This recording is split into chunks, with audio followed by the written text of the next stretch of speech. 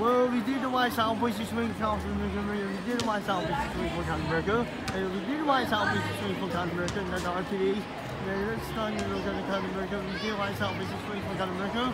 And that's now even time.